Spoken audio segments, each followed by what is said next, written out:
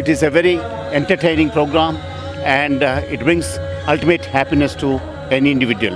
Music should be followed by everybody to bring peace into this country.